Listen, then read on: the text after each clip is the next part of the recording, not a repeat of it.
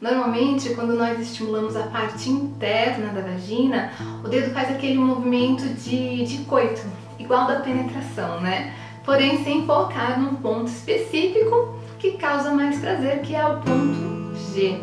Bom, o ideal é deixar o dedo na entrada da vagina, sem penetrar, enquanto você vai estimulando o clitóris. Deixa lá. E se o corpo dela ainda não estiver pronto para penetração, a vagina vai começar a se fechar, a bloquear a entrada do dedo. Então, você simplesmente espera, vai estimulando o clitóris e as outras partes do corpo até a vagina se sentir pronta. Quando ela estiver pronta, você vai saber.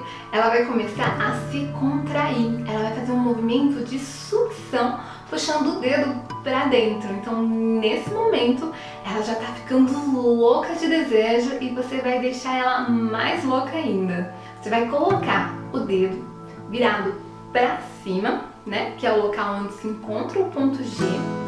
E você pode identificar o ponto G pela textura. Ele tem uma textura mais rugosa e quanto mais você estimula, mais rugoso ele vai ficando.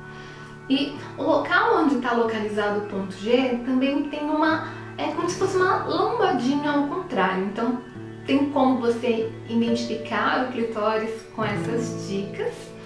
E quando você encontrar, você vai procurar estimular essa região específica. Você pode fazer aquele movimento de venha, né? Então você foca no, no ponto G, mas se você ainda tiver assim com dificuldade de identificar onde que é esse ponto, com certeza você pode fazer movimento circular, tá? Porque daí com certeza quando você estiver girando, você vai acabar passando o dedo na região correta. Daí você tem a opção de identificar o ponto pela reação. Você vai perceber que tem um ponto específico que ele tem uma reação mais intensa. Daí você foca nesse ponto. Mas se você não conseguir identificar, mantenha o um movimento circular, tá?